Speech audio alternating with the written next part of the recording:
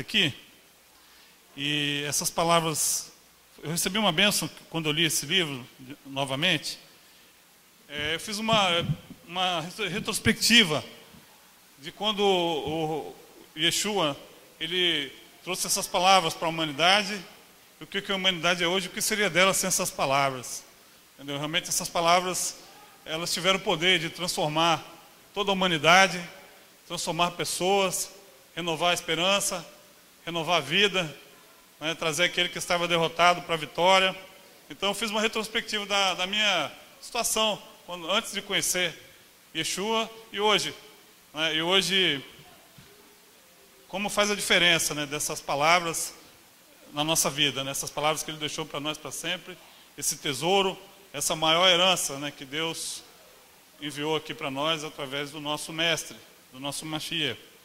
Então eu vou fazer uma breve introdução, eu vou fazer uma, uma passagem talmúdica, no Talmud Babilônio, no Tratado de Haggai 14, 2. Está é, tá escrito lá o seguinte, que quatro sábios entraram no Jardim do Éden.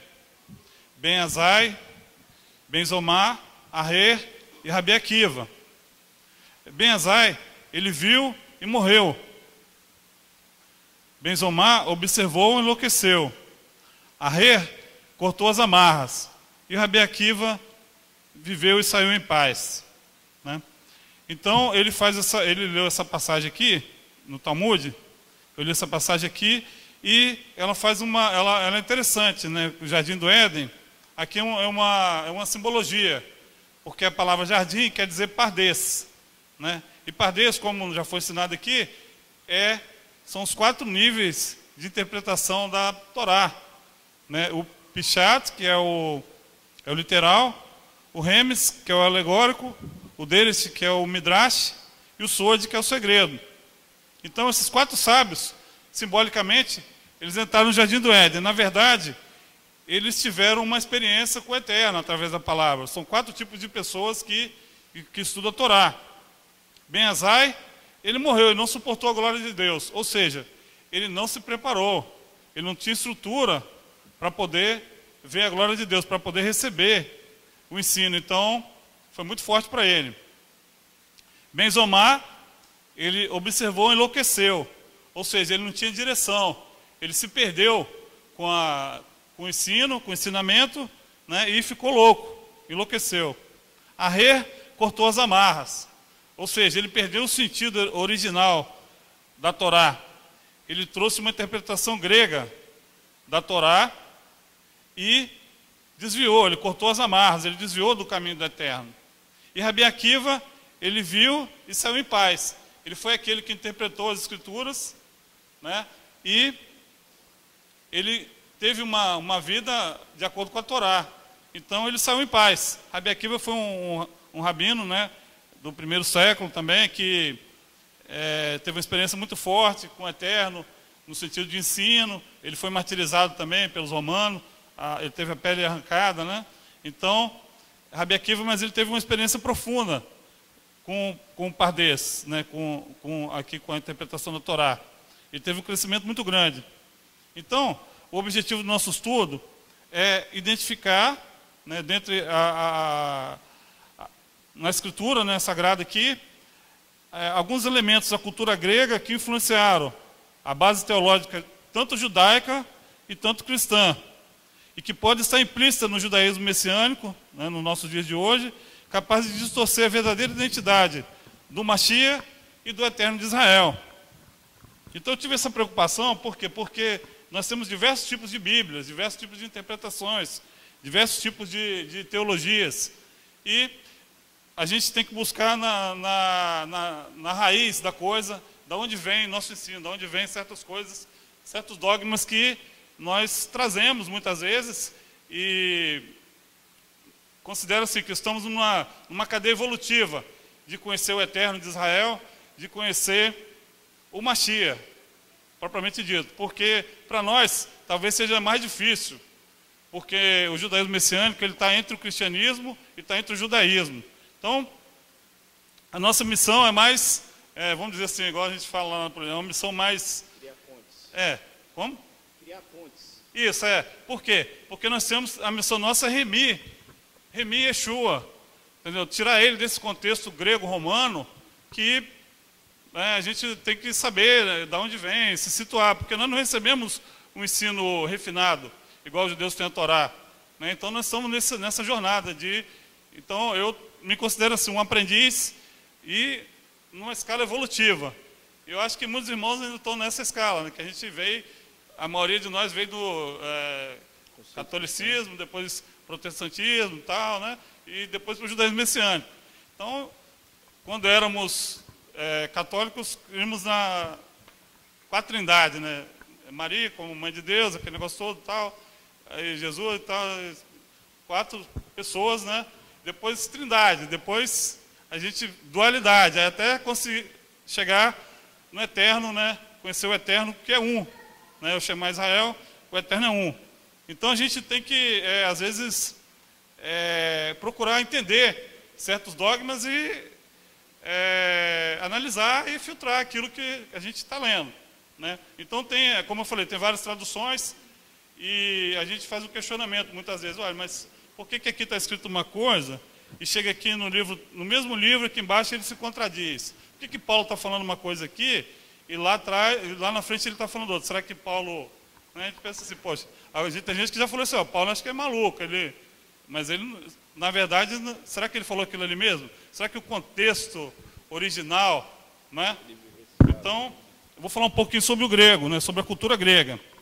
A cultura grega é muito forte ainda nos nossos dias, por quê? Porque ela influenciou arquitetura, física, matemática, filosofia, o nosso conceito de democracia, a química, as artes, o teatro, né? Muitas palavras gregas nós usamos hoje como música, é, a palavra pornografia, gráficos, era, lógica, idolatria, heresia, igreja, apóstolo, bispo, presbítero, crise, Europa, metrópole, psique, né?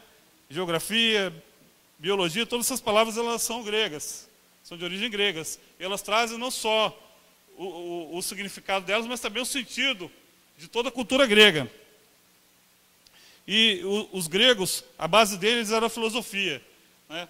Sócrates, Platão e Aristóteles, na Grécia Antiga. É, Sócrates, ele falava só sei de uma coisa, ele falava só sei que nada sei. Né? Sócrates, mas ele, é, Platão foi discípulo dele, Platão foi o mais assim, eloquente do, do, dos filósofos, por quê? Porque ele escreveu várias obras, e as principais delas é a República, a Caverna e o Mundo das Ideias. Na, na caverna, né, o mito da caverna, Platão fala o seguinte, que ali dentro da caverna é, tinham várias pessoas, que eles viam o mundo apenas como sombras. E uma pessoa saiu de lá e foi ver o mundo real. Quando ele chegou na caverna, ele contou como era o mundo real, as pessoas não acreditaram. Não acreditaram. Então, depois ele escreveu o mundo das ideias. Então ele tinha sempre isso, uma coisa para existir no mundo físico, ela já tinha que existir nesse mundo das ideias, né, que seria essa caverna. E, e era como se fosse sei uma pré-existência de tudo que tem no mundo. Né? Então isso influenciou muito é, o cristianismo, o judaísmo, né? nós vamos ver aqui algumas passagens aqui, né? E Aristóteles, ele foi o mestre de Alexandre o Grande, né, Alexandre o Conquistador ali no, no quarto século, antes da Era Comum, que conquistou a, a base de todo, de todo mundo naquela época ali. Né? Então, Alexandre ele teve uma experiência muito grande, porque ele saiu do Egito e ele partiu para conquistar é, Israel, Jerusalém. Então ele já estava na cabeça dele chegar ali, já tinha os conselheiros dele, ó, vão chegar ali e tal, porque eles era aliado do Império Medo-Persa e tal, e tinha aquela rivalidade, a Grécia estava né, em ascensão e tal. E, mas quando ele chegou ali, ele se deparou com o sacerdote, o sumo sacerdote, o Correngadol, conhecido como Shimon Hatzadik. E Shimon Hatzadik, quando ele soube que Alexandre vinha, ele pegou os sacerdotes e vestiram a, a, as roupas brancas, o quitel, que é usado no Yom Kippur. E ali eles ficaram ali, em posição ali em frente ao templo, e Alexandre chegou, desceu do cavalo, foi ali e beijou os pés de, de Simão. Aí todo mundo falou, poxa, pensei que ele fosse cortar a cabeça dele, chegou e beijou os pés. Aí ele falou com Simão, nas minhas visões, ele falou assim, antes, toda, toda, na véspera que eu vou para uma batalha, nas minhas visões, à noite, num sonho, me aparece um ser de branco. né? E esse ser de branco, é, ele usa suas roupas. É você. Ele é você. Ele me fala como que eu vou ser na batalha, se eu vou entrar para vencer ou se eu vou perder. Então, conforme ele me fala, eu não vou para a batalha. Então, esse ser de branco, com certeza, era um, um malá, né? um anjo que apareceu para ele. E ele, ali o Eterno fez ele se identificar com, com Simão. Então, ele teve um tratamento é, diferenciado com os judeus. Ele foi gentil, ele foi cortês com os judeus. O que também não foi muito bom porque ele trouxe com essa, com essa cisão do, ali com os judeus, ele trouxe toda aquela bagagem cultural né, da Grécia Antiga e começou ali a assimilação também judaica, a assimilação judaica. É, o que, que, o que, que aconteceu ali? Alexandre, ele, ele recrutou judeus para o exército, o seu exército, e ele tinha o sonho de, de fundar em Alexandria a, a biblioteca, a biblioteca de Alexandria, e depois que ele morreu, essa biblioteca foi fundada. Seus generais, o reino foi dividido em três, por três generais, eles fundaram ali a biblioteca de Alexandria e depois traduziram a Bíblia, a Torá, para o grego, a Septuaginta. Entendeu? Então a Torá ela teve uma influência, ela teve uma, ela teve uma influência grega nessa época. E, e ali tinha um judeu que era muito é, proeminente, estudava também filosofia, né, em Alexandria, tinha os judeus ali, e ele é, criou uma, um, um, era um sacerdote, era um sumo sacerdote.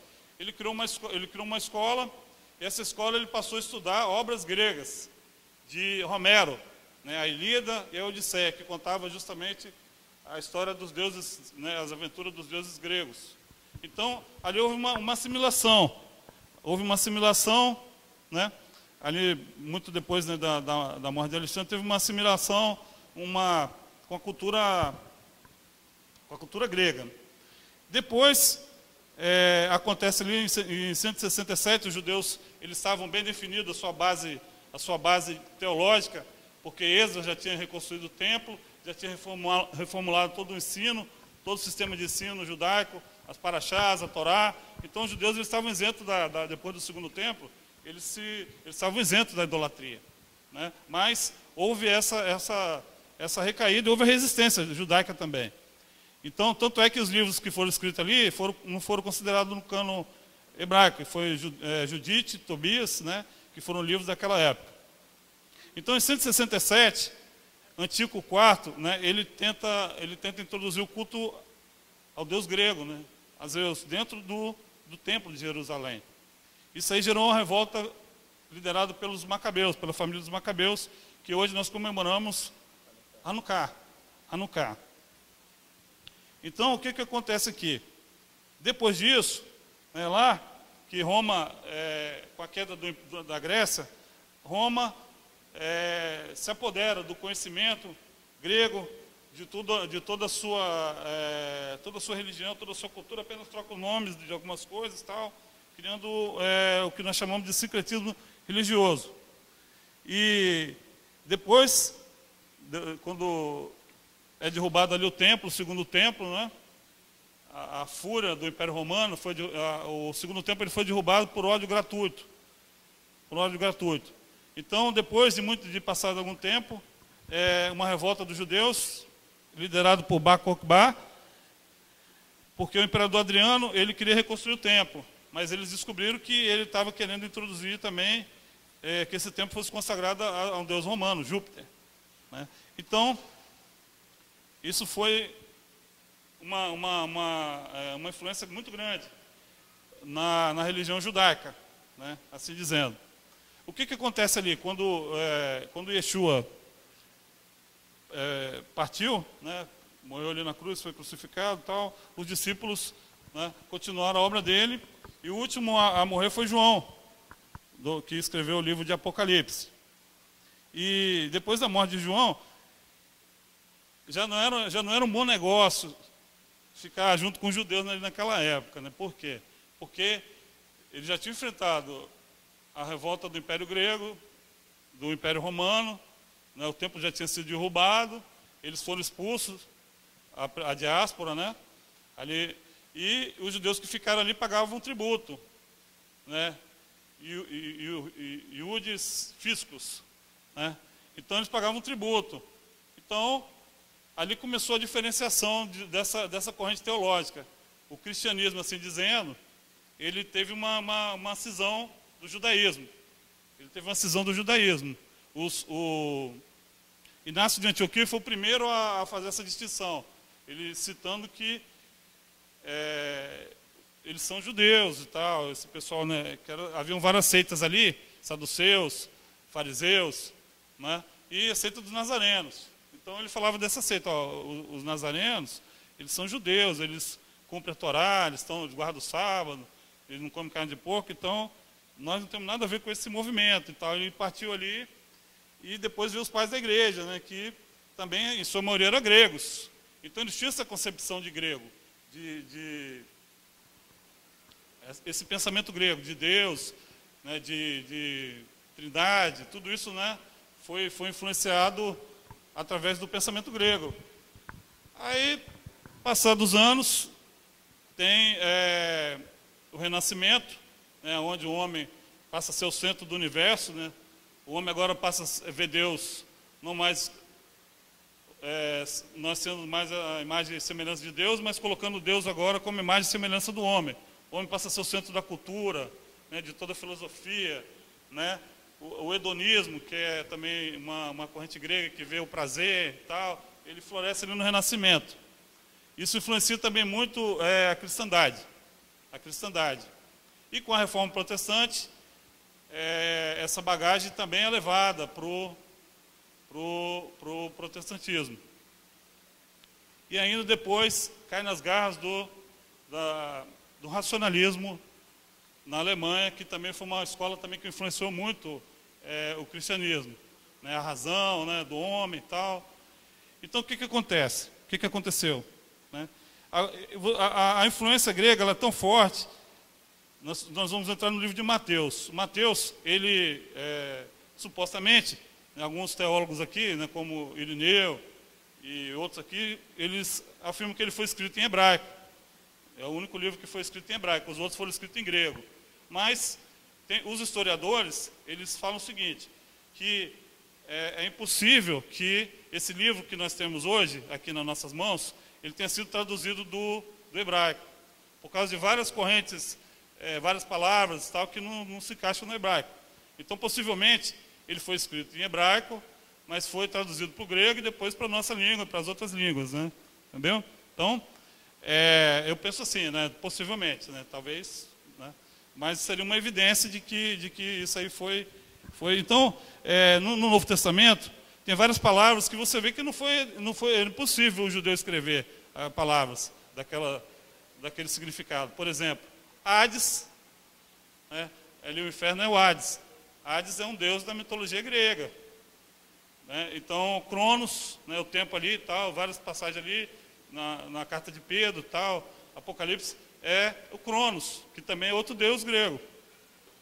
Né? Então, é, é, muito difícil né, o judeu ter escrito essa, essa, com essa língua, né, com essa língua. Então, fica para nós esse mistério. E outra palavra também de, de grego que eu queria falar é sobre, é sobre dogma. Dogma é uma palavra grega. Dogma é algo assim que você. Eu vou ler aqui.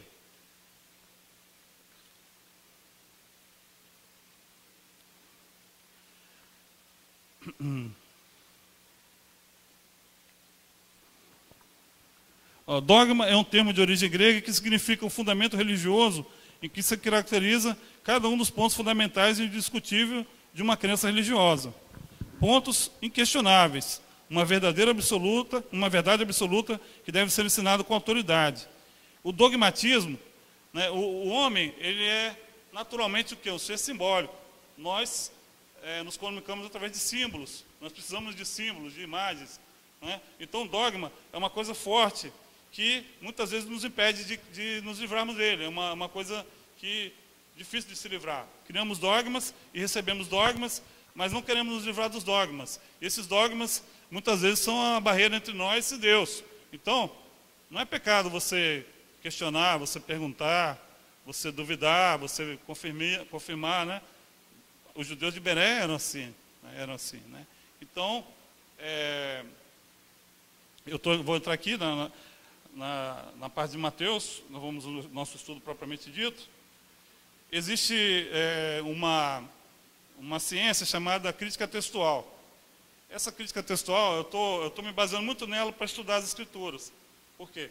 Porque ela tem, ele tem sete itens que você confere a, a escritura. Você confronta, por exemplo, você para saber o que, que Jesus falou, realmente, o que, que Paulo falou e ele não falou, esse, essa crítica textual, ela, dá, ela te dá uma base forte para você ir eliminando, entendeu? Você pode, mas é um assunto muito longo para outra, para outra, né? Então essa crítica textual tem me ajudado muito a compreender o Machia, né? o nosso Machia, né? que veio com uma missão né, específica, que o Eterno deu para ele e ele cumpriu. Né? Por isso ele foi eleito o nosso Machia.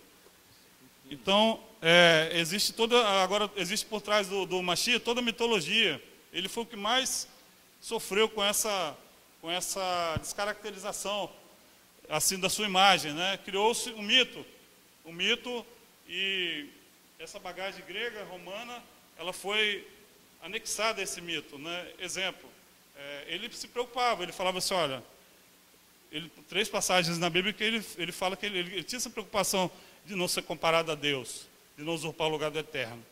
Por quê? Porque quando o Rassatan tentou ele no deserto, 40 dias e 40 noites, ele falou assim: olha, somente o Senhor teu Deus adorará. É, o Satanás queria, falou assim: ó, mas você pode pedir os anjos para te adorarem e tal. Ele falou assim: não, somente o Senhor teu Deus te adorará. Chega ali um, um judeu para ele e falou assim: bom mestre, o que de fazer para dar a vida eterna? Ele falou: por que você me chama de bom? Se bom é Deus. Não é? Bom é Deus, então ele está fazendo distinção. Senhor, o que devo fazer para ser salvo? Chamar Israel, Adonai Elohim, Adonai Errado. Então ele tinha essa preocupação.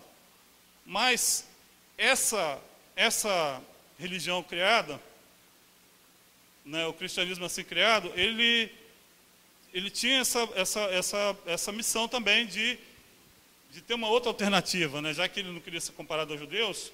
Então, como é que você vai adorar o Deus de Israel né, se você não é judeu.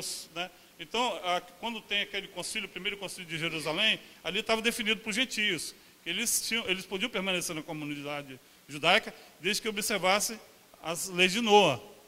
Então, esse grupo começou a crescer, mas ele começou também a se separar, separar da, da teologia judaica. Então criou-se o quê? Quando é, Agostinho de Pona, já no, no quarto século, ele já criou a teologia da substituição. Eles eram muito antissemitas, os pais da igreja, eles eram muito antissemitas. Então ele cria essa, essa, essa diferença. Olha, Israel espiritual agora é a igreja de Cristo. E Jesus, ele substitui Deus de Israel. Agora Deus é um Deus bom, o Deus dos judeus é um Deus mau do Velho Testamento. Né? Então houve toda essa, essa, essa, essa preocupação de criar um outra, uma alternativa, um outro Deus, um mito para que as pessoas é, se desvencilhassem da Torá e tivessem uma outra, uma outra alternativa, né, e que perdurou até os nossos dias de hoje, ao qual nós já andamos nesses caminhos. E hoje cabe a nós o que refletimos nas palavras do, do Yeshua e andar nelas. Por quê? Porque é, essas palavras que o Yeshua deixou para nós, são é, como se fosse a nuvem de glória do deserto. Elas, elas, nos dão, elas nos dão mérito. Elas nos dão mérito para que o Eterno nos proteja e, nos, e cumpre nós as promessas. As promessas. Coronel, eu falo que esse trabalho de, de trazer essa unidade, eu falo que o nosso trabalho dentro do judaísmo messiânico não é fácil, né? É, está numa ponte entre os judeus, está numa ponte entre o cristianismo, é um, é um lado muito bom, mas ao mesmo tempo parece que você não está no lado de ninguém. Ninguém te recebe. O lado judaico te rejeita porque você tem Yeshua, que ao longo da história o judeu tem é, grandes situações difíceis que no nome de Jesus eles foram perseguidos. E ao mesmo tempo tem um lado cristão que tem toda essa bagagem que o senhor está querendo dizer, que é grega e romana, de tirar o cristianismo da sua base, da sua essência. E a gente trabalhar para essa unidade não é muito fácil, mas eu vejo que ela é profética, né? Porque quando a gente vê lá na situação de José, no livro de Gênesis, que José foi vendido pelos seus irmãos, acho que toda a congregação conhece essa história, né? Foi vendido por seus irmãos para, é, para o Egito, colocaram toda uma roupagem em José, na qual não lhe pertencia. Mas José nunca deixou de ser a essência que ele era. Por mais que as pessoas o vissem com uma figura é, muito contemporânea, com a imagem do primeiro-ministro do Egito, com toda a roupagem do primeiro-ministro, com o anel do primeiro-ministro, com a carruagem do primeiro-ministro do Egito, no fundo, quem estava ali era Yosef, ben Yaakov, filho de Jacó, né? E os rabinos ensinam que quando José deu-se a conhecer os seus irmãos, José naquela posição de rei, de primeiro-ministro, é, dando alimento para a terra, é, José deu-se a apresentar aos seus irmãos como judeu. Os rabinos falam que ele mostrou a Brit Brit Milá, para provar que ele era José, filho de Jacob, né? Mostrando que ele era um judeu. Yeshua nunca deixou de ter a sua personalidade com o seu povo. Ele mesmo disse quantas vezes o Eterno os quis juntar como a galinha faz debaixo é, das suas asas, né? Porque Yeshua todas as vezes defendeu o seu povo. Eu falo que esse trabalho nosso, é, de, de aprender o livro de Mateus dentro da concepção judaica bíblica é muito importante, porque nós vamos ver como que Yeshua foi presente no cotidiano do ser humano, como que Yeshua transforma o ser humano, como que ele ensinou a Torá no, no, no dia a dia para as pessoas, ensinou as pessoas a serem felizes nas tribulações, as pessoas terem esperança na hora que não tem esperança, que é o que o Senhor vai falar, vai comentar, ensinou as pessoas a, a confiar em Hashem, a não olhar simplesmente para as coisas materiais. E isso que nós precisamos resgatar sempre, essa, esse ensinamento que é vivo, que é presente, mas que ele é totalmente judaico, né? Isso não é fácil, você desvencilhar as pessoas desses ensinos. E eu sei que ao longo do tempo a Eterna vai sempre tratando-os, né? Então, é, alguns mitos né, sobre, sobre Yeshua, é, por exemplo, né, tem pessoas falando, ah, mas ele é Deus encarnado e tal ele, bom, isso é uma coisa muito polêmica para a gente, né? Quem sou eu para, né? Mas ele teve essa preocupação, entendeu? Então, assim, ele que ele é um enviado de Deus, com certeza. Moshe Rabbeinu falou dele, ó, eis que, né, virá um profeta no meio de vós, um homem, assim como eu. Então, você veja Yeshua como homem, você não tira o mérito dele, entendeu? Porque a Torá fala que, a Bíblia fala, olha, aquele que não crê que Jesus veio em carne, entendeu? Né? Não é de Deus. Então, você vê ele como homem, você não tira, pelo contrário. Você vê o que, que o homem é, foi capaz de fazer. O que, que o homem, o mérito dele está nisso. Porque se ele fosse um semideus, era muito fácil. Ele falou, bom, na hora lá não vou sentir dor, vai dar tudo certo, entendeu? Né? Tá, tá escrito na, na palavra e tal, vai dar tudo certo. Então, para ele, se ele fosse um semideus, era muito fácil. Agora pensa bem como homem, né? Porque o sofrimento do mundo, ele absorveu. O tzadik, ele tem essa, ele tem essa característica de absorver o sofrimento do, do próximo. Entendeu? Quando você está na frente de alguma coisa, quando você se propõe já a ensinar, a liderar né, espiritualmente, o que, que acontece? Os problemas das pessoas você vai absorvendo, aquilo ali, entendeu? Deus quer que você ore, Deus quer que você pague um preço, o seu sofrimento, às vezes você está passando, vai, vai servir para outra pessoa ser abençoada, para outra pessoa ser remida através do seu sofrimento. Então, de que ele, ele absorve esse impacto de, de, do sofrimento dos outros. Entendeu? Yeshua, foi isso que aconteceu com ele. Ali no, no Getsemane, quando ele orou ali, quando ele teve o sangue ali, suor, ali foi foi o ápice ali da, da, da figura né, humana, do sofrimento que ele estava passando. Então, ele, por isso que ele foi eleito Machia. Ele venceu todo o propósito que Deus colocou para ele, de santificar o nome de Deus aqui nesse mundo, de, através da sua vida, do seu exemplo, né, do seu ensino, da sua dedicação, do seu mérito, nós também temos mérito com, com Hashem. Os méritos de, Yeshua nos protegem. É isso que nós vamos ver na, aqui nessa palavra. Que méritos são esses? Se você tiver o mérito de Yeshua, você está em Deus. Aí você aí outra pessoa fala assim, ah, mas quem não crê que Jesus está condenado, os judeus, porque eles não creem, eles, eles vão para o inferno então, que eles não aceitaram Jesus? Não. Israel também tem um caráter messiânico. Tudo que se aplica ao Machia, aplica para Israel. Tanto é que eles lá, eles acham que o capítulo 53 de Isaías, que ele, pelas suas pisaduras nós fomos sarados. E o sofrimento e o castigo que estava sobre ele nos trouxe a paz. Eles falam que é Israel. Mas também Israel tem um caráter messiânico também. Né? Ah, os, os vai ser enxertado na oliveira. Então, eles também têm essa, né, nós vamos, eles têm esse, esse caráter, eles também são, são Machia. Israel também é Machia para a humanidade. Então, se ele está na Torá, ele está lá, ele está incompleto, porque ainda não, né, ainda não cumpriu a profecia deles receberem Machia. Mas está com Deus, né? Duvida, alguém duvida disso? Eu não duvido, eu creio que eles estão, mas o propósito, a hora deles vai chegar. Então a gente não pode é, aceitar isso. Muitas pessoas falam isso, olha, eles não aceitaram Jesus, então eles estão no inferno. Já, não, não é isso. Né? Então eles têm um caráter também de trazer redenção para a humanidade. Né? Tudo que, toda palavra profecia que se aplica a Machia, também se aplica a Israel. A Israel também tem né, essa característica de ser Machia.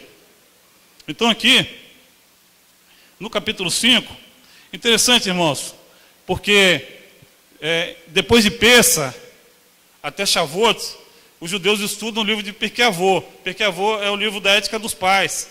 Ali fala sobre ética, sobre várias coisas né, que os sábios é, recomendam ali para nós. Por quê?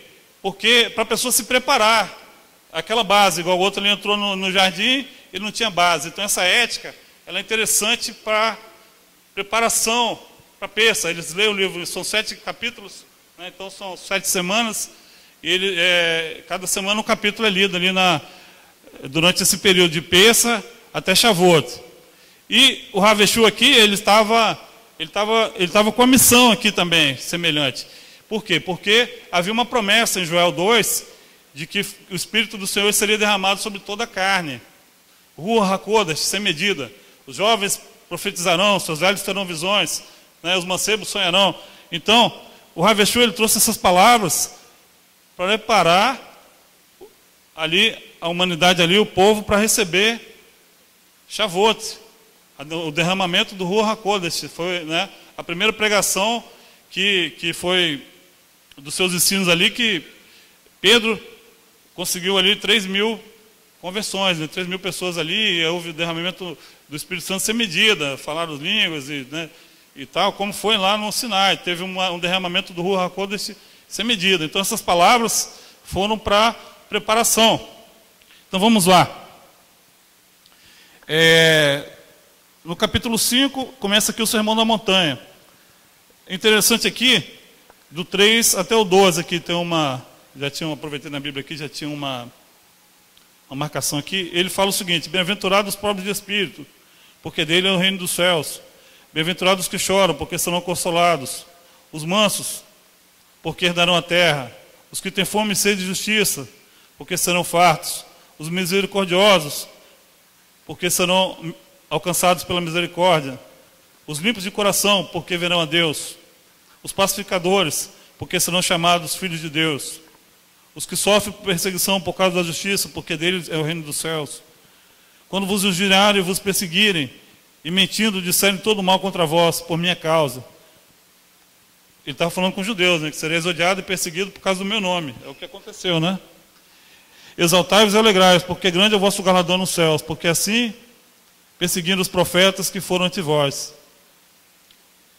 Você está você tá chorando com os que choram? Você está com fome e sede de justiça? Né? Você está sendo misericordioso? Então você está trazendo em você os méritos de Machia. Os méritos de Machia estão em você, está em nós. Né? Então, aqui já no capítulo 3, no, no, já do versículo 13, né, os discípulos são sol da terra. É, tem aqui no 19, eu fiz uma observação, uma observação aqui no 19. Ainda no capítulo 5, versículo 19. Qualquer um, pois, que violar um desses pequenos mandamentos, e assim ensinar aos homens, será chamado o menor no reino dos céus, porque é, aquele, porém, que os cumprir e ensinar, será chamado grande no reino dos céus. É, desculpe, o 18 ainda fala assim, antes do 19. Porque em verdade vos digo que até o céu e a terra passem, nenhum jota ou tio se omitirá da lei, sem que tudo seja cumprido. Ele estava confirmando justamente a autoridade dele, de mestre da Torá porque não tinha escrito ainda Tessalonicenses, não tinha escrito ainda Pedro, né, Apocalipse e tal. Então ele estava confirmando que ele veio trazer Torá. Ele veio trazer Torá para a humanidade. Essas palavras são da Torá. Então, por isso que ele é o verbo.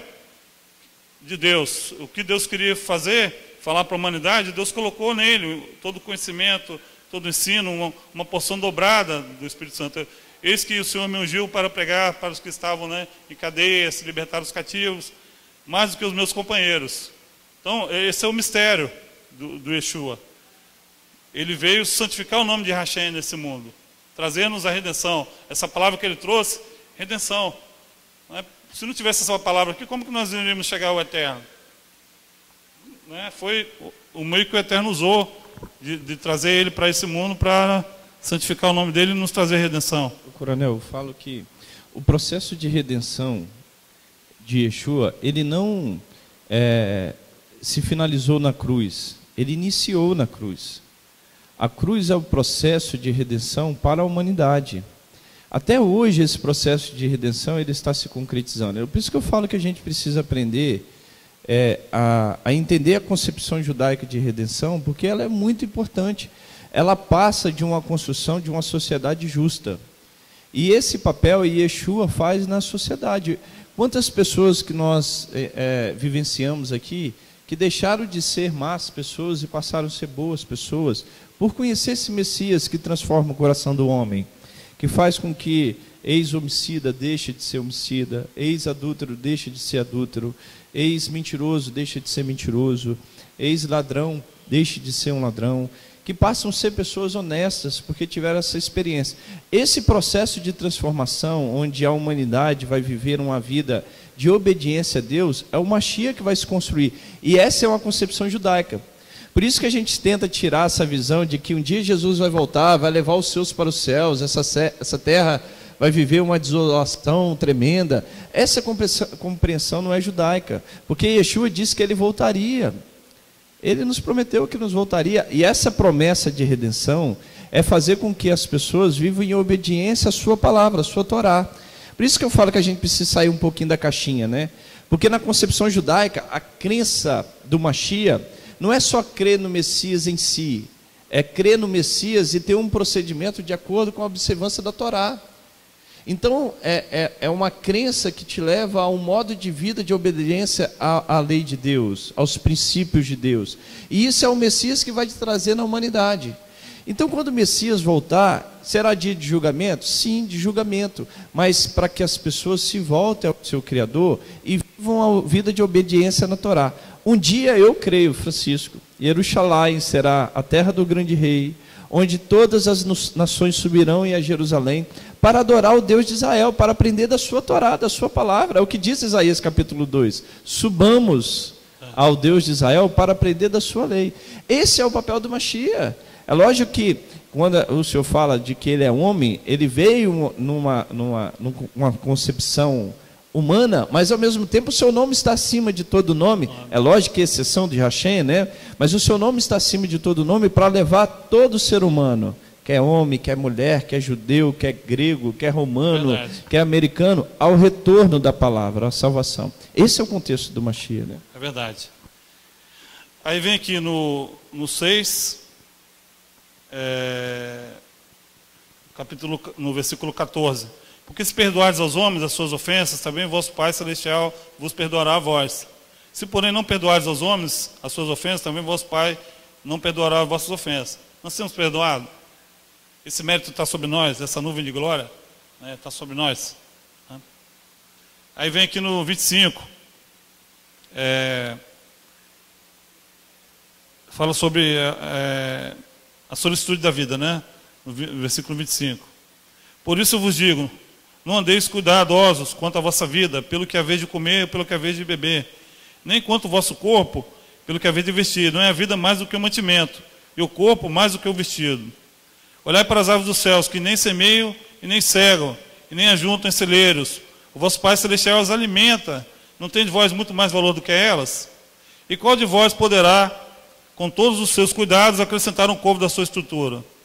E quanto ao vestido, porque andais solícitos, olhai para os lírios do campo, como eles crescem, não trabalham nem fiam. Eu vos digo que nem mesmo Salomão, em toda sua glória, se vestiu como eles.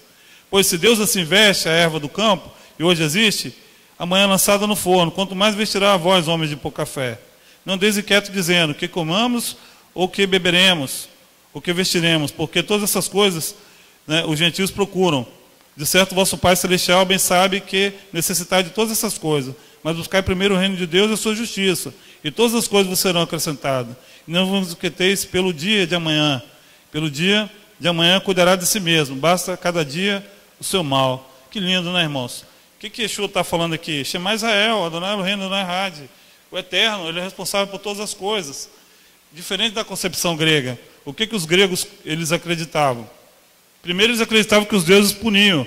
A ira dos deuses, tal, tá sobre. Depois eles mudaram, né, na, na, no período helenístico, surgiu uma filosofia chamada epicurista.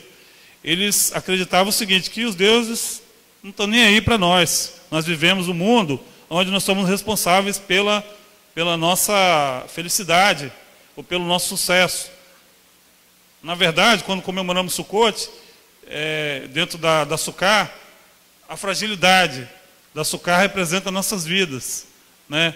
Não é o estudo, não é o, o, o sucesso nosso, não está na nossa, na nossa capacidade intelectual, no nosso talento, está na misericórdia do Eterno. Né? Devemos, lógico, ter o mérito do esforço, mas depende do Eterno todas as coisas, na nossa vida, né? o dia de amanhã, Ele cuida de nós. Né? Então, na concepção grega, até, até muitos evangelhos falam assim, ó, caiu um raio, por exemplo, caiu um raio lá no interior, na cidade lá de Dores do Rio Preto. Morreu 30 vacas. Aí o camarada falou assim, é um fenômeno da natureza, né? Mas tudo não está sujeito ao eterno. Se for um judeu que mora na casa, ele vai procurar saber, olha, o que, que o eterno quer de mim? Por que, que ele permitiu isso na minha vida? Né? Morreu todo o meu gado e tal.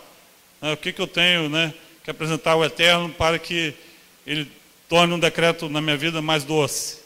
Não, aquele que tem a fé, vamos dizer assim, meia boca, ele fala assim, ó, isso aí foi natureza, foi um acidente da natureza. Né?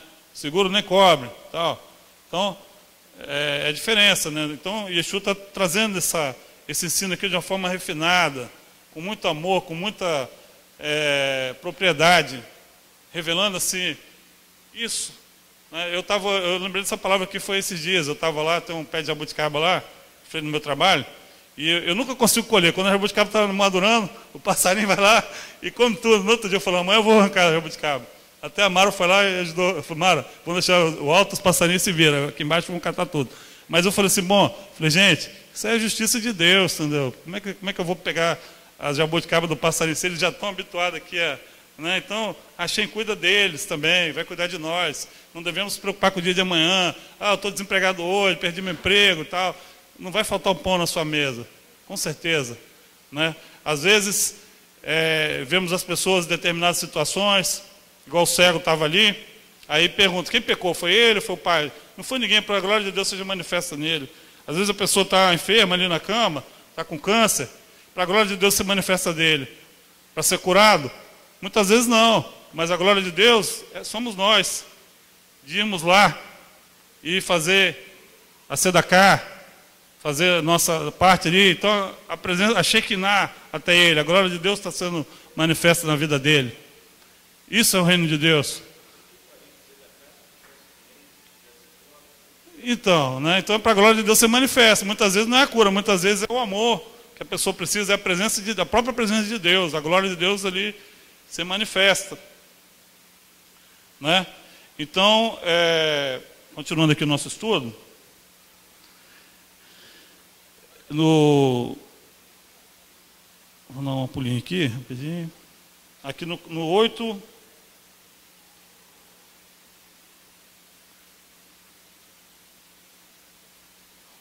No 8 aqui da tempestade. Né? A tempestade. No capítulo 8. É, outra, outro, outra coisa muito linda aqui, essa experiência é, essa experiência aqui, que, que ele teve ali com a calma tempestade. Entendeu? Então, é, é um ponto que eu, eu vi uma pessoa postando na internet outro dia, que o, o caminhoneiro, ele estava lá, o caminhão dele lá, pegando fogo, ele não tinha dinheiro, não tinha seguro, ele orou, e filmou ali, ele pediu chuva e choveu, você viu isso aí? Eu falei, rapaz, que fé, Então ele fala, sinais maiores do que esse farão. Essa é a, a aí que está. Por isso que às vezes a pessoa é, é, tem que tomar cuidado também. Às vezes você vai para o lado muito ortodoxo, aí você se desvia a visão de, de, de Exu e tal, aí você fala assim, não, você pede, mas ele falou assim, ó, sinais maiores do que esse farão. Então ele orou aqui e acalmou a tempestade. E aquele, aquele rapaz lá, ele, né?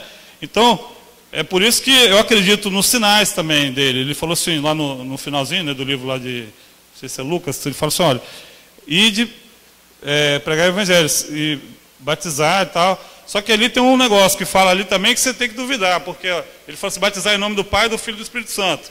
Já é uma concepção de trindade, que tá, de repente ele não falou isso. Porque o livro de Mateus aqui, não sei se vocês perceberam, ele está falando para uma comunidade judaica, praticante da Torá. Ele fala assim, ele está tá, toda hora ele está ele tá, ele tá testificando que ele não veio mudar a lei, ele está com essa preocupação. Então, tudo indica aqui que ele falou para ele estava falando para uma comunidade judaica que seguia a Torá. Ele tá, toda hora ele está falando, ó, eu vim para né, testificar o que estava escrito, né, para se cumprir isso aqui, o que foi escrito pelos profetas tal. Então, é, pela linguagem dele aqui, você vê que ele está falando, ele está falando com uma comunidade judaica que, que era judeu praticante do judaísmo. Então, aquela, tem algumas partes de lá que está é, já com uma doutrina trinitária, né, aquela, aquela, aquela concepção grega. Né, da, né. Então, é, aqui no, no, também tem uma passagem muito linda aqui. Ele, ele fala o seguinte aqui no capítulo no 9, no 13. Ide, porém, aprender o significado. Misericórdia quero e não sacrifício, porque eu não vim chamar os justos, mas os pecadores ao arrependimento. Então, é, ele não fazia exceção de pessoas, né? Ele sentava com publicanos, ele sentava né, com, com os fariseus, ele não tinha essa acepção de pessoas. Então, é mais uma evidência também da judicidade dele. Porque quando, quando ele se refere é, aos gentios aqui, ele está fazendo uma diferença entendeu? dos gentios e os judeus publicanos, fariseus eram judeus, então ele estava no meio deles. Né? Então essa, essa, concepção teológica de que é, os judeus né, são, já são já descanteios, já também não, não, não faz sentido, né? Não faz sentido. Então, irmãos, é isso, né? Algumas passagens aqui, é um capítulo é um, muito grande, é muito vasto, mas ele é, é muito lindo. É muito lindo é, por quê? Porque aqui fala também da seara, dos ceifeiros, né? Da, da mulher que tinha o fluxo de sangue. Ela toca ali no, no vestido de Jesus. Ela, na verdade, tocou no talite. Era o talite, essas vestes. E nós vemos as pinturas renascentistas lá, tudo né, de olho azul, com aqueles, aqueles panos vermelhos. Só falta botar a bandeira da Itália, verde e tal, né, vermelho ali, tudo azul. Então, é, é um contexto que, que coloca nosso Machia fora do contexto dele, né? É um texto fora do contexto, né? É. Então, algumas coisas também, quando fala assim, que, que o Machia está entre nós, esse, esse é um princípio judaico também, que o sábio, o mestre, mesmo quando ele morre, o seu ensino ele continua vivo, ele continua é como se fosse assim, é uma coisa até difícil de explicar, não é que é, Yeshua ele é onipresente, onipotente, mas ele está no meio de nós como? Através dos seus méritos. Né? Através dos seus méritos. É, eis que estou convosco até o final. Então, quer dizer, os méritos dele, quando, quando é, Caim matou Abel, aí o Eterno falou assim: onde é que está teu irmão? Aí ele falou assim: olha, eu virei tutor do meu irmão, sou eu, não, o sangue do teu irmão clama a mim. Mas, como que era isso? o sangue dele, o mérito dele, clamava por justiça. Então, por isso que fala que Yeshua é nosso advogado. Não é aquele igual Roberto não, que fica lá intercedendo, não, esse aqui é gente boa, né, deixa, é dos nossos aqui, deixa ele né, absolvido aí e tal. É, é que já, já, já é uma coisa assim, o mérito de Yeshua, o, o que ele fez por nós, o que ele passou, a sua, a sua vida, a sua morte, já traz os méritos dele para sempre sobre nós. Então, Né? Isso é coisa difícil de explicar, difícil de entender também, entendeu? Porque ele não está sentado. Ele não é a forma dele, né? De, do eterno não é a forma humana. O eterno não está sentado à direita de Deus. Quer dizer o quê? Que ele tem um lugar de honra no reino de Deus, acima dos anjos. Por quê? Porque ele é uma machia que vai reinar. Assenta-te à minha direita até que eu ponha nações por os cabelos dos seus pés. Nós cremos na messianidade dele e na sua volta. Amém? Então, quando ele voltar, o reino dele já tem que estar, tá, já tem que estar tá preparado. Nós somos um bom perfume do Machia. Quando você chega ali, ó, cheiroso assim, fala, ó, esse perfume é de pastor José Maria, cheiroso, né? Esse perfume, ó, né, do Francisco, né, da irmã Cora, ó, cheiroso, né? já, já conhece a pessoa. Então, nós somos perfume de Machia. Por quê? Porque ele já tem que estar entre nós. Nós temos que estar vivendo Machia. Machia não é só uma, cre... uma crença. Né? Machia é um estilo de vida, é um modo de vida, é uma coisa bacana de se viver.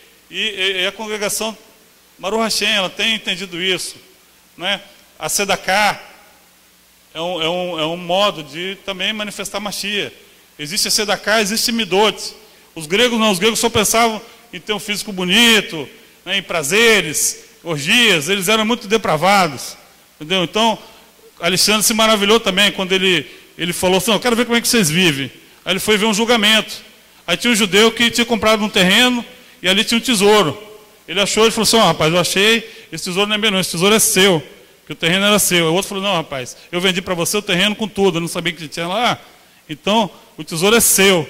Ele falou assim, é, mas que negócio é esse? Esses caras estão brigando aqui para né, saber de quem é o tesouro. Se fosse lá no meu reino, eu já tinha matado os dois e já tinha pegado para mim o tesouro. Entendeu?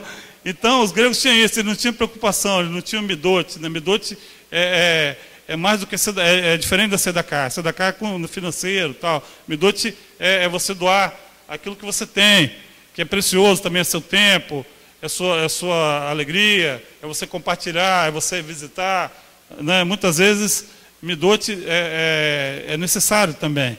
Então os gregos eles, eles não tinham essa, essa preocupação. Né? Eles só queriam ser bem-sucedidos, né? tinha que ser vitorioso, tinha que ser rico, isso era sinal de que Deus estava com ele. Teologia da prosperidade também, né? coisa grega no Evangelho. Coisa grega. Então, que o Eterno nos abençoe, que o Eterno nos dê sabedoria cada dia. Devemos orar sempre para estarmos no caminho da verdade que Ele venha abrir nossos olhos, né, para nós não cairmos na idolatria. Né? Existe um falso monoteísmo no cristianismo, porque na verdade esse mito ele é muito presente. Eu vou contar aqui uma experiência rapidinho. Conta para ninguém não, eu vou contar aqui um negócio que aconteceu comigo, entendeu? Aí eu fui, fui fazer uma média com, com o seu Adão, né, o pai dela. Tá falou assim, não, porque lá na igreja tem que levar, cada um tem que levar um visitante e tal. Eu falei assim, ah, seu Adão e tal. Aí eu falei assim, ah, vamos lá fazer uma visita. Eu falei, não, fui ser cortês. Daí fui lá, na, fui lá fazer uma visita lá, na igreja lá de, do meu sogro lá, futuro sogro. Aí eu cheguei lá, rapaz, muita gente, tal, que negócio bacana e tal. Aí o camarada orando assim, ele botava a mão, caía todo mundo para um lado, para o outro assim, só fazia assim. Eu falei, pá, peraí, vou lá ver esse negócio. Aí ele falou assim com a menina, você, vomita aqui, vomita aqui, não sei o que, que está macumbado aí tal. Em nome de Jesus, sai. Caiu para lá vomitando, você vomita aí também e tal. Eu falei, rapaz, esse negócio está pegando. Vou lá. Eu fiquei curioso para ver o que era aquele negócio. Eu falei assim, a gente às vezes gosta disso, sabia? De, de, de ver né, o, o circo pegando fogo, ver né, o, né, o pau quebrando e tal. Eu falei assim, bom, aí veio a palavra assim na minha cabeça. Eu falei assim, ó, tal grande foi Moshe, tal grande foi Bila. Né? Nunca houve Israel profeta como Moshe, mas fora teve Balaão. Doutrina de Balaão. Às vezes a pessoa se deixa levar por essas coisas. Entendeu? Porque, ah, porque ali acontece tal, mas por trás é um mito que está ali. Né? O Eterno faz milagres pela misericórdia, por, dá sinais. Às vezes, até a pessoa que crê em idolatria recebe milagre. Fala assim, ó, eu orei para, né, é lá e tal, fulano de tal, que santa lá não sei o quê, e minha filha foi curada e tal. Mas ela não sabe que foi o Eterno. Para mesmo assim, ela querendo sobrenatural. Tem um propósito que o Eterno permitiu, mesmo que ela está na condenação, mas o Eterno permitiu, porque tudo vem dele. A gente não pode também crer em outro Deus, que está lá na, na, Bíblia e fala assim, ah, o Deus desse século. Tal. Satanás. Então, peraí, Satanás é Deus? Ele, tem, ele é um Deus também do mal? Se você dá muita importância para ele, você também está idolatrando o, o, o Hassatã, ele tem a função dele. Uma das funções dele é ocultar o nome do Eterno, é ocultar o nome de Hashem. Porque se, se, se ele não ocultasse o nome de Hashem com as mentiras dele, com a enganação dele, né, com as coisas ruins, a inclinação ruim das pessoas, o Eterno seria revelado a todo mundo. Mas buscar-me-eis e me achareis, quando me buscar de todo o coração. Então, o Rassatã não tem poder nenhum sobre nós, se nós tivermos com a proteção de Hashem. Tudo é pela permissão de Hashem. Então, essa é a diferença da crença judaica, raiz, né, com a mistura grega. A mistura grega é querendo isso aí, que existe uma batalha né, do bem contra o mal, e Deus está atento, né, que toda hora dá um livramento, Deus está atento nisso, que aconteceu, isso aí, né, mas fica que, como se fosse uma derrota. Né? Às vezes o próprio mal, por trás, traz um bem. Ele traz um bem por trás. Se você crê nisso, que, que, que o Eterno, ele, ele, todas as coisas, ele não quer o mal para você. Às vezes o mal está trazendo um bem. Amém? Amém. Que o Eterno nos abençoe e complete em nós essa palavra.